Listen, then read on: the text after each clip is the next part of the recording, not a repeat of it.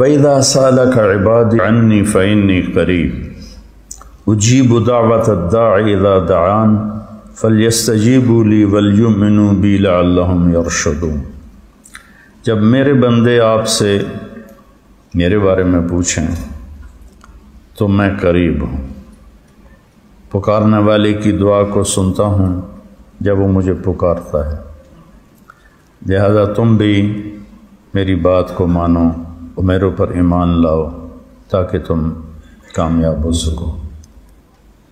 ہدایت پا سکو۔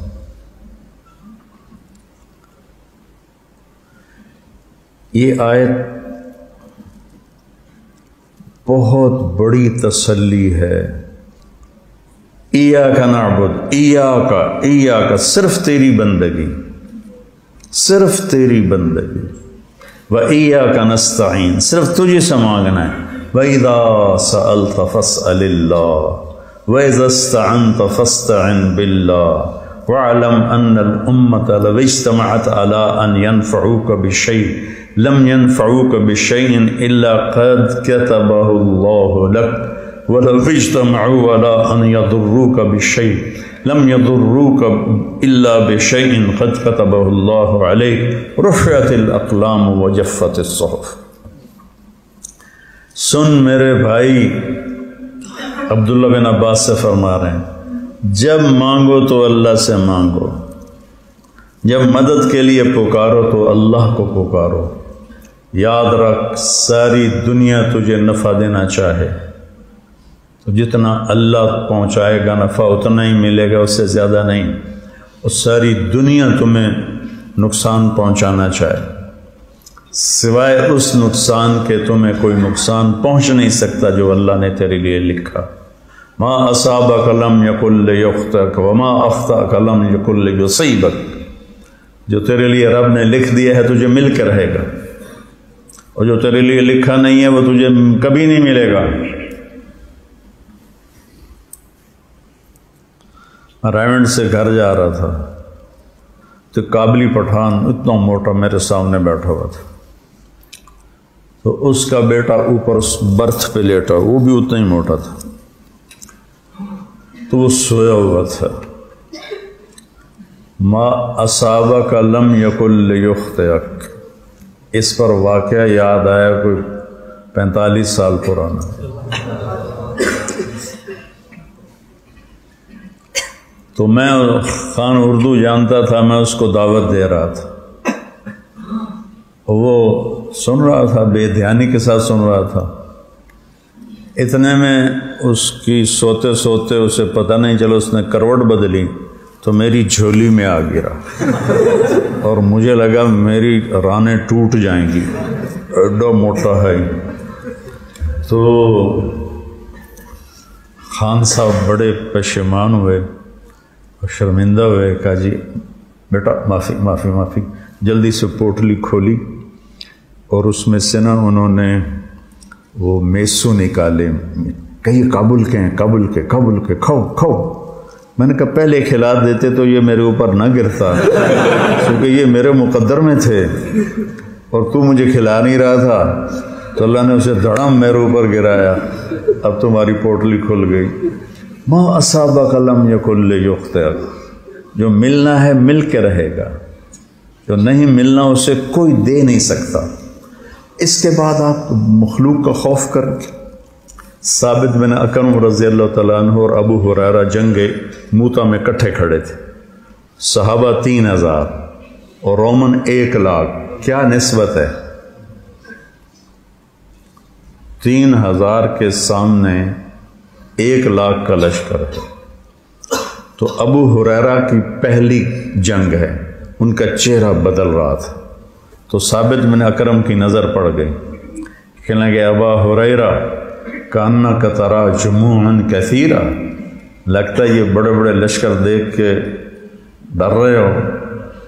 کہنے لگے ہاں۔ کل لم تشہد معنا بدرن ان لا ننصر بالکثرہ۔ تو بدر میں ہمارے ساتھ نہیں تھا۔ ہماری مدد کثرت کے ساتھ نہیں ہوتی، اس کے ارادے کے ساتھ ہوتی۔ تو اس آیت میں اللہ تعالیٰ نے کیا کمال کیا؟ سب یہ ہمارے چونکہ ایک بدعات ہیں، پیروں کو پکارتے ہیں، فقیروں کو پکارتے ہیں۔ میری فیملی میں بریلوی بھی ہیں، زیادہ تو بریلوی ہیں۔ تو سب سے سلام دعا ہے، سارے پیار محبت سے رہتے ہیں۔ وہ کوئی فرقہ واریت کی نفرت کوئی نہیں ہے، اللہ کے فضل سے۔ تو وہ ہمارا ایک برادری کا تھا تھا ان پڑھ۔ تو میں تو لمبے سے آ رہا تھا تو اپنے باغ کے درخت کے نیچے بیٹھا تھا، تو میں اس کو ملنے چلا گیا۔ اللہ بخش، اس کا نام تھا۔ میں کہا، بھائی، میں کہ پھر اللہ بخش کے آل ہے آدھا بڑا چنگا آل ہے آدھا یار، تو بندہ تو بڑا چنگا ہے۔ پر تو وابیاں نار رال گیا۔ میں کہ وہابی کہڑے ہوں کہ جڑے پیرانوں نہیں مندے میں کہا، میں تو پیرانوں مننا۔ پر میں یہ آنا کہ پیر تہن پر پیر پتر نہیں دے سکتے کہ بس ائی تو تھوڑی غلط فہمی۔ ہر پیر دا اللہ دے کول کوٹا ہے۔ جس لیے اسی پیر کول پتر منگنے اپنے کوٹے چو لے کے سانو دے دیں میں کہا جائیں کوٹا بنایا، اسے کو لے لا۔ تو مدد کے لیے پکارنا کسی کے لیے نہیں۔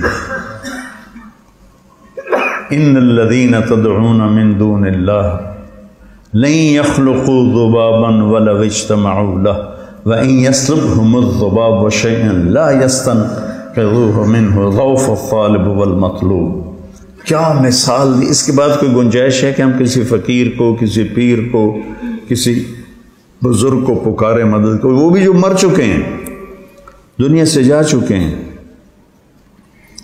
ہم سلطان بہو گئے فاتحہ کے لیے۔ تو نہیں، پیر جگی لیا کے پاس۔ وہ جگی جگی مشہور ہے، لیکن وہ بڑی گدی ہے۔ بڑے اس علاقے میں اسلام پھیلانے والی وہ شخصیت تھیں تو وہاں عورتیں بیٹھی، ہم فاتح کے لیے گئے تو پیر جگی پوتر دے میں آ پیر جگی پوتر دے میں آ اب یہ وہ پکار رہی ہیں۔ ان معصوم ان پڑھ خواتین کو پتہ ہی نہیں ہے کہ وہ کتنا غلط کام کر رہی ہیں۔ یہ بتانا ہمارے ذمے تھا، لیکن پیار سے۔ نہ کہ رد سے، نہ کہ نفرت سے۔ پیار سے بتانا ہمارے ذمے تھا کہ دینے والا صرف اللہ ہے۔ لو ان اولکم و آخرکم و انسکم و جنکم و حیکم و میتکم و ربکم و یابسکم و صغیرکم و کبیرکم و ذکرکم و انثاکم۔ یہ میں نے دو تین حدیثیں جمع کر کے، کسی میں کچھ الفاظ ہیں، کسی میں کوئی اور، وہ میں نے سارے جمع کر دی میرے بندو تم اول، تم آخر، تم انسان، تم جنات، تم جوان، تم بوڑھے، تم چھوٹے، تم بڑے، تم مرد، تم عورت، تم اگلے، تم پچھلے۔ لو ان اولکم و آخرکم و انسکم و جنکم و حیکم و میتکم، زندہ اور مردہ۔ و رتبکم و یابسکم، بوڑھے اور جوان، خشک اور تر۔ و صغیرکم و کبیرکم، چھوٹے اور بڑے و ذکرکم و انساکم مرد اور عورت۔ قامو فی سعید واحد۔ سب کٹھے ہو جاؤ۔ سارے، جب سے اللہ نے آدم کو پیدا کیا، وہ اور جنات تو ہم سے کروڑوں گنا تعداد میں زیادہ ہیں۔ کہ وہ اور جو آئندہ آنے والے ہیں، وہ اور جو مر گئے ہیں، انہیں بھی اٹھا لو۔ اور جو تم ہو سات ارب اس وقت دنیا کے بعد کبھی سات ارب نہیں ہوئی۔ تم بھی آ جاؤ اور تم قام فی سعید واحد، کھڑے ہو جاؤ۔ کٹھے۔ فسألونی، اور مانگو۔ مانگو سے کیا مطلب ہے کہ واری واری مانگو تو مطلب کروڑوں سال بعد واری آئے گی۔ سألونی، کٹھے مانگو۔ اور دنیا میں اس وقت چھ ہزار دس زبانیں بولی جا رہی ہیں۔ چھ ہزار دس زبانیں بولی جا رہی ہیں۔ جو مٹ گئیں، وہ الگ۔ جو آئندہ آئیں گی، وجود میں وہ الگ۔ سب اپنی اپنی اپنی اپنی زبان سے مانگو۔ زبان کہتے ہیں عزو کو اور زبان کہتے ہیں لغت کو۔ تو اردو ہماری لغت ہے تو ہم کہیں گے میری اردو زبان ہے اور میری زبان سے نکلا۔ الفاظ کی درستگی بہت معنی رکھتی ہے، کلام کو بدصورت کر دیتی ہے اور تکرار۔ اللہ کے فضل کرم سے جو ہے، اللہ نے ساری کامیابیاں جو ہے اپنے ہاتھ میں رکھی ہیں جو ہے۔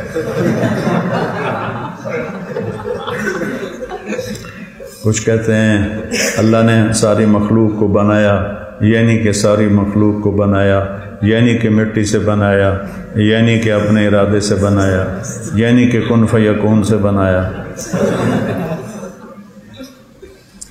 فسألونی لاکھوں زبانوں میں مانگو، ایک وقت مانگو، کالے، گورے الگ الگ، بوڑھے جوان الگ الگ، مرد عورت الگ الگ چھوٹے بڑے الگ الگ، اگلے پچھلے الگ الگ، انسان جنات الگ الگ، مردہ زندہ الگ الگ، مانگو، کٹھے مانگو۔ کٹھے مانگو۔ بیچ میں گونگے بھی ہیں۔ انہوں نے اشاروں سے مانگنا ہے یا دل کی زبان سے مانگنا ہے؟ اس میں کتنے گونگے بہرے ہوں گے؟ وہ بھی ہیں۔ ساتھ جنات ہیں۔ جنات کی کتنی زبانیں ہیں، کتنی نسلیں ہیں، کتنی قومیں ہیں۔ تو اللہ کے سوا کوئی نہیں جانتا، وہ بھی مانگیں۔ تو جب یہاں تین چار اگر مائک پہ بولنا شروع کر دیں تو آپ کی سمجھ ختم ہو جائے گی۔ تو میرا اللہ کہتا ہے، جب تم سب مانگو گے تو یسما غجیجہم باختلاف لغاتہم ولا جاتہم فلا يشغله قول عن قول لا يشغله سمع عن سمع ولا يلهيه قول عن قول۔ تم سب کٹھے مانگو، تم سب کا سمجھے گا۔ اور کہیں اسے غلطی نہیں لگے گی کہ شیخ رمزی کے مانگے اور طارق جمیل کے مانگے میں اشتباہ پیدا ہو جائے۔ کہیں غلطی نہیں لگے گی، کہیں غلطی نہیں لگے گی۔ اور پھر اس کے بعد اگلی قدرت کیا آئی تو کل انسان مسئلہ پھر میں سب کو سب کا چاہا دے دوں۔ کیا ہوگا اس کے بعد نا ما نقص ذالک مما عندی الا کما ينقص المخیط اذا ادخل البحر۔ سمندر میں سوئی کو ڈبوبو کو کوئی کمی آتی؟ کہ تیرے رب کے خزانوں میں اتنی کمی بھی نہیں آتی۔ تو اس سے مانگ جس کو کسی سے لے کے دینا وہ کہتے ہیں پیر اللہ سے لے کر دیتے ہیں۔ تو اس سے مانگو نا جو کسی سے لے کر نہیں دیتا ڈائریکٹ دیتا ہے۔ اور اس سے مانگو جس کے خزانے ختم نہیں ہوتے۔ اور نماز کو ذریعہ بناؤ، روزے کو ذریعہ بناؤ۔